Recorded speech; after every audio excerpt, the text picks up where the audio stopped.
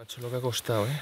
Pero al final lo que, lo, lo que más cuesta es lo que más se disfruta. No, es y lo que más se es recuerda. es, que lo que más- es que es así, es que es hasta el final. Esto me recuerda a Palencia. trabajar, trabajar, hasta por fin día, tocarlo. último- Hasta por fin tocarlo.